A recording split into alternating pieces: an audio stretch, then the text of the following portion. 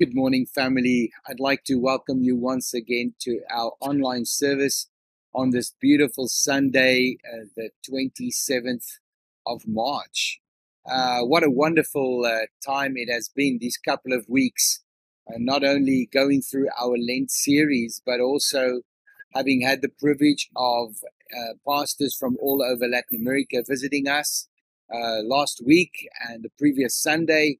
We had a wonderful uh, message from Dr. David Fresh, who is the uh, uh, executive director of the Missional International Church Network, and also a greeting from uh, from Tim Faulkner, the general secretary of the IBC, which of course is the International Baptist Convention, a, a convention of international churches uh, such as ours. And so to have both of these leaders with us was truly a pleasure and a, a wonderful privilege. Um, and in case you've missed uh, some of what they've shared, uh, feel free to go to our YouTube page and you'll be able to catch up on all the wonderful things uh, that they said to us, encouraging us to continue the calling that God has for us as an international church here in Buenos Aires. And this morning, I'm privileged that we would continue our Lent series and so excited to be sharing the word of uh, God with you a little bit later on. But before we start our time of worship this morning, let us pray together. Let's ask the Lord to receive our worship. And again, I'd like to invite you as you listen to the music to worship with our worship team, not just listen to them singing. Uh, and also, as the word is being brought, would you be open that the, the Lord would speak to you uh, about what He wants to say to you? And then right at the end of the service, I'll get back to you again with some important announcements for the weeks uh, to come, since we are heading into our Easter month, uh, the month of April. And there's so many things that uh, that are happening, and we would like for you to be part of. Let's pray together. Let's dedicate this time to the Lord. Father God, thank you so much for your goodness and your grace in our lives. Thank you that on this day we can dedicate this time to you as a time set apart to glorify your name. And Lord, as we worship you, receive it from the bottom of our hearts. You are our Lord and you are our God.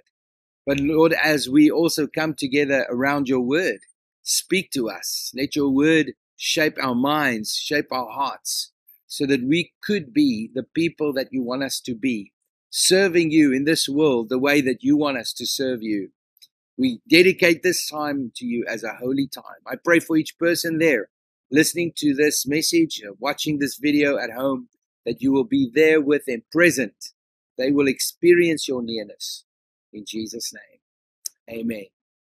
God bless you. Let's enjoy uh, our worship together.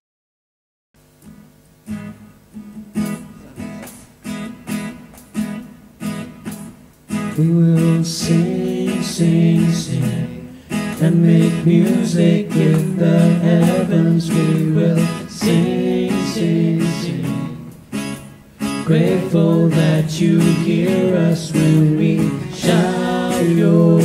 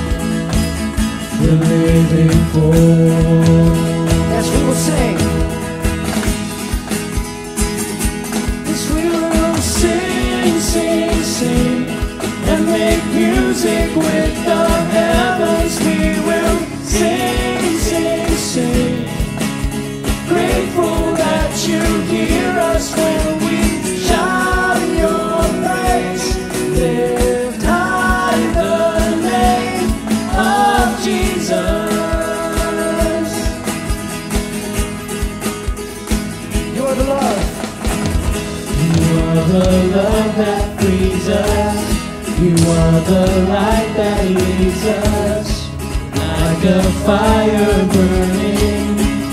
Son of God, you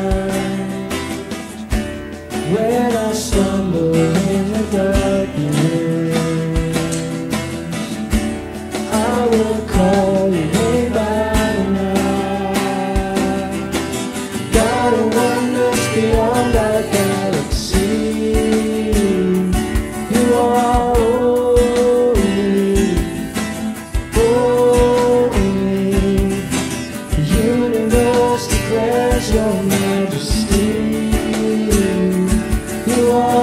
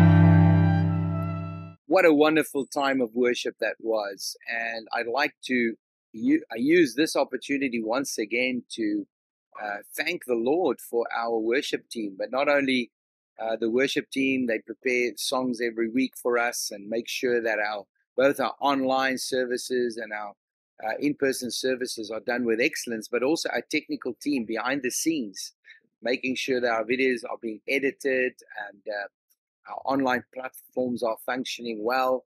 You know, we live in a new reality after COVID, and so it's really wonderful to have such a team. So let's continue to be thankful for them uh, as you are enjoying this online experience. Thank the Lord for those who have prepared it for you. Uh, now, this morning, I'd like to, us to continue with our series on the seven sentences that Jesus spoke on the cross. And of course, the first week we spoke about forgiveness. Um, and this was exemplified in Jesus' words when he was saying, Father, forgive them, for they know not what they do. And we, talked about what it really means to forgive as Jesus forgive. How can we uh, do it as he did it? Because he is our example, he's our model. And we follow him in, in emulating him in every way. And then we talked about uh, paradise, course, referring to uh, Jesus hanging with the two uh, criminals by his side, both of his sides, and and and one of them asking for mercy, and how you and I can also make sure that we inherit and we we go into paradise uh, when we die. And then during this last week, I shared with you um, what Jesus was going through uh, when he when he spoke about family. Remember that when he was on the cross, he had the time to think about his mother and his friend, John, the beloved disciple. And Jesus had the time to look at them and, and, and, and, and give them comfort. And so we talked about how important family uh, relationships and friendships are to Jesus. That even in the time that he was dying, he wasn't thinking of his own suffering only, but he was thinking of how this suffering would affect those around him. And so, if you've missed one of these uh, messages, you're so welcome to go back to our podcasts and uh, our YouTube channel and catch up. But today, I'm going to be sharing with you a, a, the words that Jesus spoke that is recorded in all in all four of the Gospels, in fact. But I'm going to be reading from Mark 15 and verse 34. And at three in the afternoon, Jesus cried out in a loud voice, Eloi, Eloi, lema sabachthani, which means, My God, my God, why have you forsaken me? I think it is very uh, difficult for us as believers to imagine what Jesus had to go through on the cross. There's this wonderful song that we sing, worship song. It actually says, we could never know how much it cost to see our sins on that cross. I think we can we can try to imagine, but but I think these words describe the deepest part of agony that Jesus had to go through. And this and these this statement obviously has been a statement that uh, Christians have been debating and uh, talking about for, for many, many years. Because the question is, did mm-hmm. the father really abandon his son? What does what do these words really mean? And I remember growing up, I heard many preachers say that because Jesus became sin, and this was Paul's reflection on what happened on the cross, Jesus became sin for us. the father had to look away and kind of, you know, abandon his son. But I really believe that if we are to understand what these words mean and what it what it meant that Jesus um, was forsaken, what what would that mean? We need to go to Scripture, and this is an important principle, not just for this uh, word, but also for anything else that we study in Scripture. We always need to know that Scripture interprets Scripture, and it's so important that we do have a context and an understanding of these words of Jesus. So one of the things that we that we read very clearly stated by Jesus in John chapter 10 verse 30 he says I and the Father are one. And so it's impossible I think or inconceivable to have this idea that somehow at the cross there was a separation between the two of them, between the Father and the Son. Um, and and that God's unity was somehow broken. And you know, and this is why uh, one of the greatest uh, reformers, John Calvin, stated that it would be impossible for God to be against God, for the Trinity to somehow become disconnected on the cross. And so, why? How are we supposed to interpret what Jesus meant? Now, it's very interesting to note that when Jesus spoke these words, he was actually quoting from the book of Psalms, chapter 22. And when we go to that psalm, which we'll do in a moment, we'll see how much of what happened on the cross was a direct fulfillment of what the psalmist was writing about in Psalm 22. And so let's read it together. And if you and right there, you know, David begins in the first verse of chapter 22 with these exact words that Jesus spoke My God, my God, why have you forsaken me? And so Jesus, in quoting Psalm 22, verse 1, wasn't just referring to the verse, he was actually referring to the whole psalm. And of course, this was this was very common in the way that Jesus, whenever he spoke and he taught, he would quote a verse, not just for the verse to uh, you know, for them to go back to the Old Testament uh, and read the verse, but he actually was referring to the whole passage, you know. And so, and so, and so, when Jesus quotes the psalm, it's not just the verse; it's the whole passage, and and you'll see soon see why that is. Um, and so it goes in, on in verse one. Why are you so far from saving me, so far from my cries of anguish? My God, I cry out by day, but you do not answer by night but I find no rest. And then, you know, this is so clear. Jesus was crying out. And then, and then it goes on in verse, verse six. But I am a worm and not a man, scorned by everyone, despised by the people. All who see me mock me, they hurl insults, shaking their heads. He trusts in the Lord, they say. Let the Lord rescue him. Let him deliver him, since he delights in him.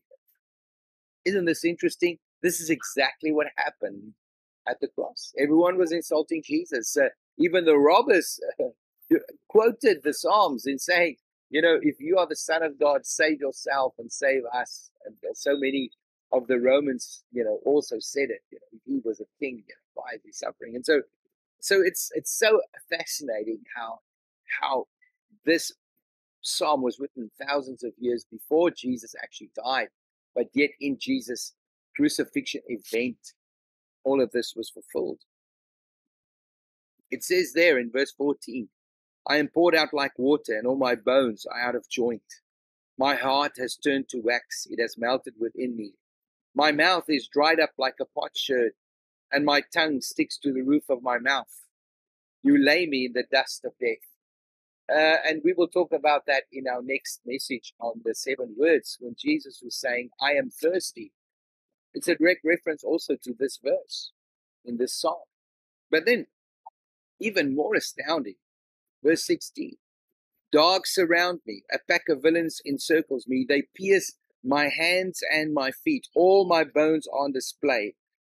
People stare and gloat over me. They divide my clothes among them and cast lots for my garment. Wow. What a direct fulfillment that even the garments that was uh, divided up, even the fact that his hands and feet were pierced, all prophesied by King David many thousands of years ago. And so understanding Jesus' words is all about reading and understanding the psalm. Now, it's very interesting that in this next verse it says, But you, Lord, do not be far from me. You are my strength. Come quickly to help me. Deliver me from the sword, my precious life from the power of the dogs. Rescue me from the mouth of the lions. Save me from the horns of the wild oxen. And of course, this was Jesus' cry that the Father would save him, that he would uh, deliver him. But it wouldn't happen immediately. Jesus had to go through the suffering. Jesus had to die. Jesus had to become the sin offering for you and me. And it was only three days later when Jesus was resurrected by the Spirit, the same Father whose will it was for him to be bruised and to be punished. That same Father sent the Holy Spirit. Holy Spirit resurrected Jesus and he became the author of salvation for all of us. And so the question is if if the Father, if Jesus was not really forsaken, literally forsaken, what do these words mean? And of course, Hebrews 4:15, Paul says, uh, I mean the, the writer, like we, maybe many people think it was Paul, but anyway, he says the following: For we do not have a high priest who is unable to empathize with our weaknesses, but we have one who has been tempted in every way, just as we are, yet he did not sin. And so it is it is so key for us to understand that Jesus had to go through that sense of being forsaken in suffering so that he can empathize with us when we go through the same experience. It is a common fact that all of us, human beings, whether we are rich or poor, one time or another would go through suffering.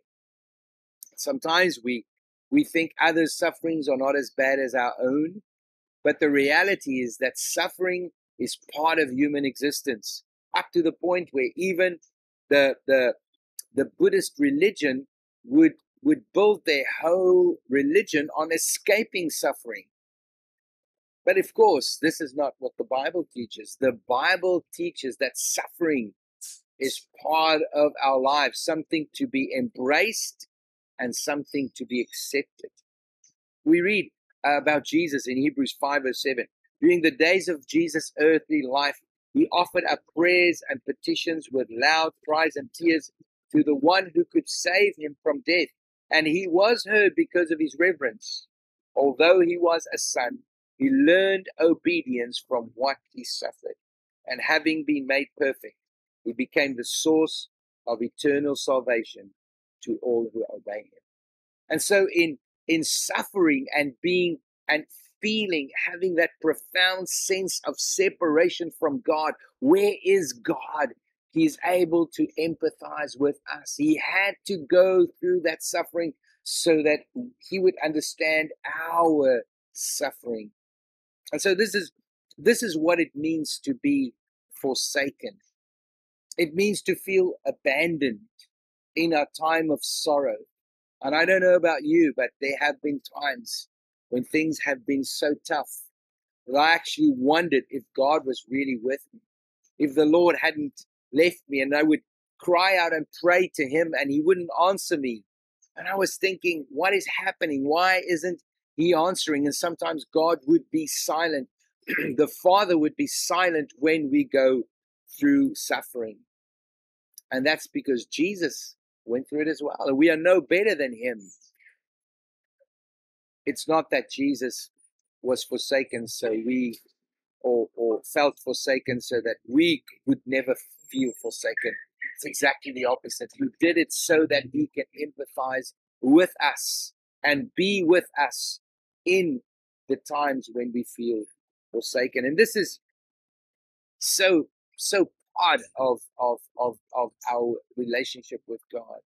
And so the question is, what should I do when I feel forsaken? What should be my mm-hmm. attitude? And first of all, know that this is part of the normal Christian life.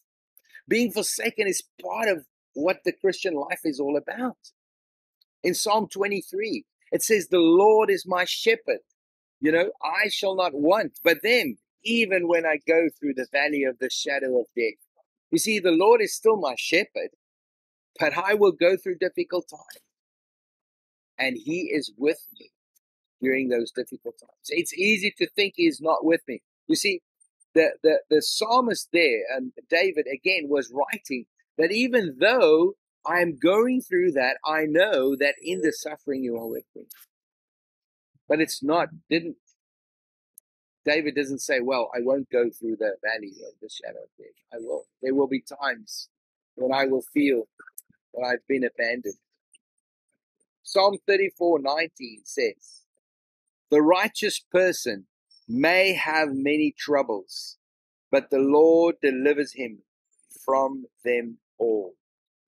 It's gonna write, I'm gonna read that again. The righteous person may have many troubles. In the King James it says, The righteous will have many troubles, but the Lord delivers him from them all.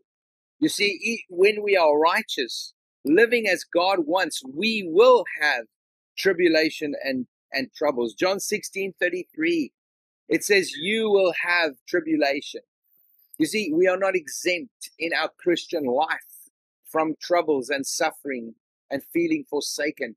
It is a myth that somehow we, you know, this idea that God will not let you go through this difficult time. That's not in line with biblical teaching. And today we have so many, um, maybe pastors trying to minimize minimize it and say, "Don't worry, you know, God wants you to be happy. Yes, God wants us to be happy, but that doesn't exempt us from suffering and pain and difficult times. It's part and parcel of the Christian walk. So, first of all, know that this is part, this is normal. If you're suffering, don't think, don't try to just get out of it and think, well, you know, this is not God's will for me. It might be God's will for you for a certain time and season that you would go through suffering. But the second point is understand what the suffering is for. Understand why you are suffering. Why am I suffering? It was the same for Jesus, and it's the same for me. And James uh, writes about this so clearly in his epistle. Uh, he writes the following James 1, verse 2 Consider it pure joy, my brothers and sisters, whenever you face trials of many kinds, because you know that the testing of your faith produces perseverance. Let perseverance finish its work to you, work its work so that you may be mature and complete, not lacking anything. And so, this perfecting of our faith is what we talked about previously as well. Jesus became the perfecter of our faith by what he suffered. He had to learn and grow in his own obedience in the same way that we need to. And so, troubles and persecutions and trials are there to produce faith, a maturing of our faith. Sometimes when we accept Jesus, our Lord and Savior, we think all of a sudden everything will be okay. But then we come to the startling realization that not everything is okay. And we go through difficult times, but it's in those times that our faith is being tested. And so I'd like to encourage you if you are going through a difficult time at this moment, know that it is because your faith is being tested. Will you hold on to Him? Will you grow in this time? Will you become mature, not lacking anything? because you are you are willing to embrace the suffering. James goes even further. He says, We must be joyful. We must be joyful because at the end of the day, we grow through suffering. We become mature through suffering. And so Hebrews 12, verse 2 to 3 says, Let us fix our eyes on Jesus, the author and perfecter of our faith, who for the joy set before him endured the cross, scorning its shame, and sat down at the right hand of the throne of God. Consider him who endured such hostility from sinners, so that you will not grow weary and lose heart. And so, thinking about Jesus' suffering helps me to realize that there was something waiting for him on the other side. And this, of course, is the second way in which we need to understand suffering, why there is suffering. It's not just to grow our faith, as it says here in Hebrews, but it, it also points to something that is beyond, to see the greater purpose for me and others on the other side. On the other side of my suffering, there is a reward. On the other side of my suffering, there is a testimony. In the same way that on the other side of Jesus' suffering, there was salvation to the ends of the earth, the gospel to be spread and people to be redeemed. There was resurrection from death. And so Jesus knew this, that the suffering and the and the feeling forsaken would only be temporary, but that he would be on the other side would be a glorious future. And Paul says this. If we want to share in Jesus' glory, we have to be willing to share in his suffering.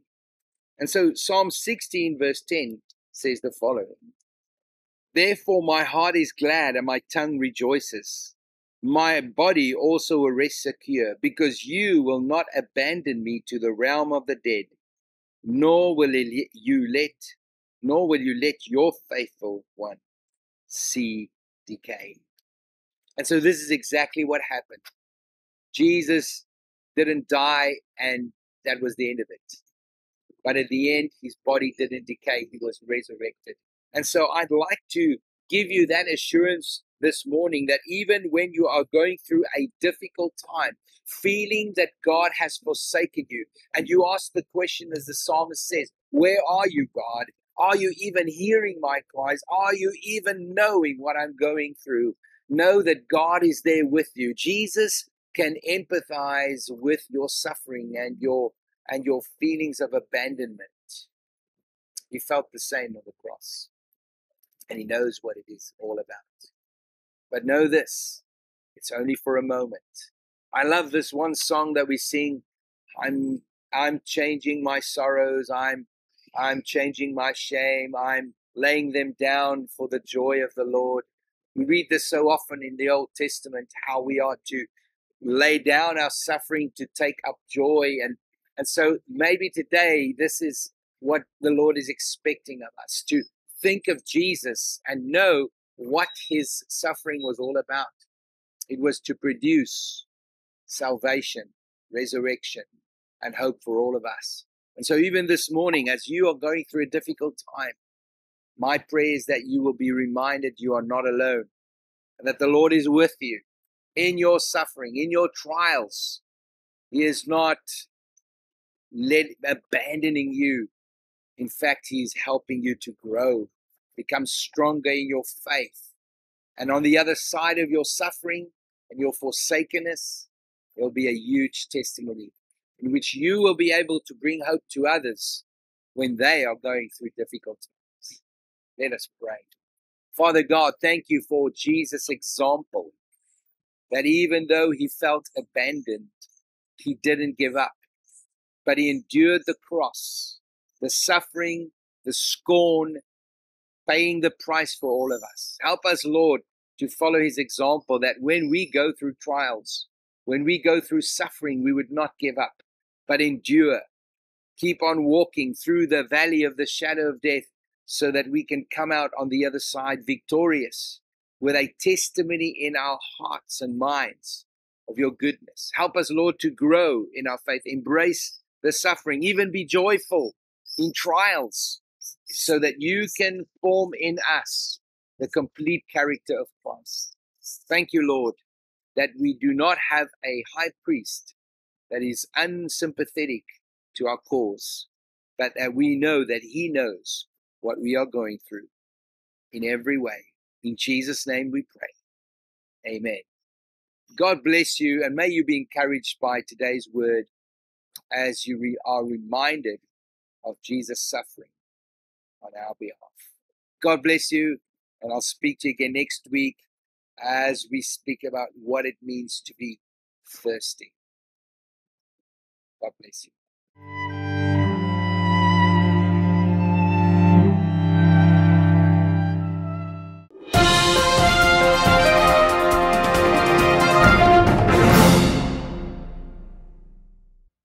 Thank you so much for joining us this morning for uh, this online service. But before we go, I'd like to share with you some very important announcements.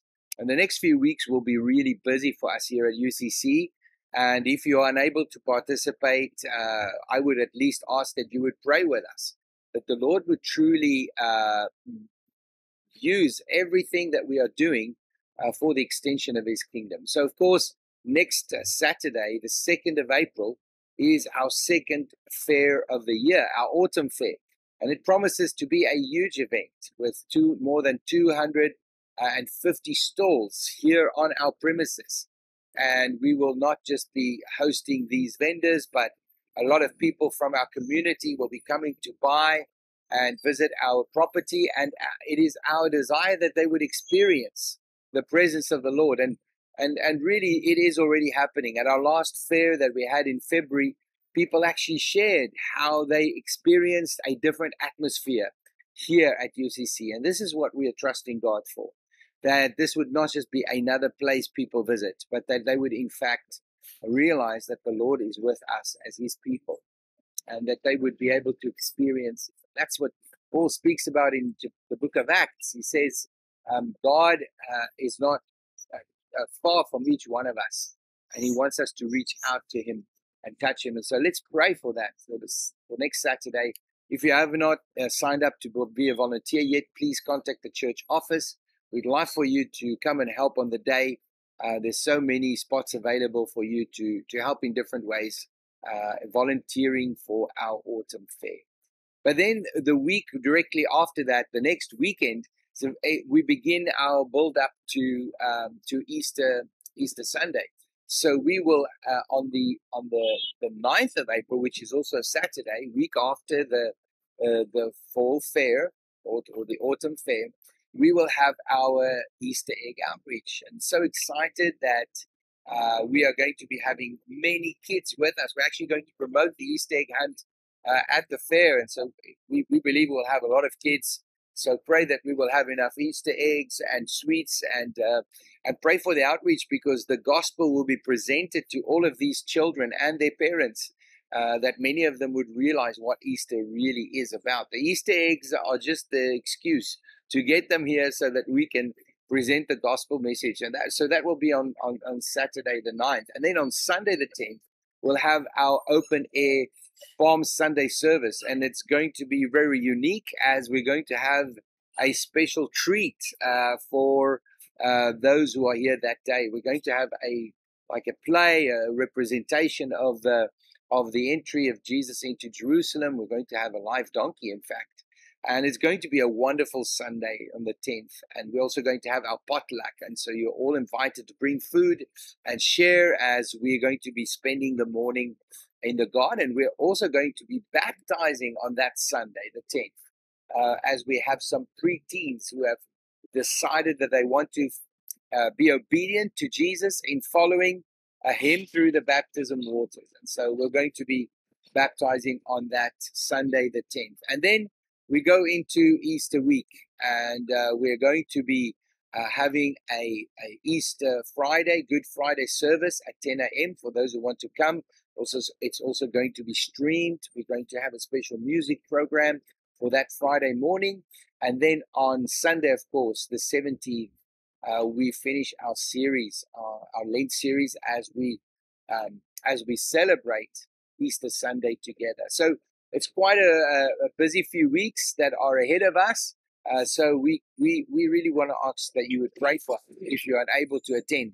But if you're able to attend, please do so. We are really, I think, uh, exiting lockdown. So many new congregation people are joining the congregation.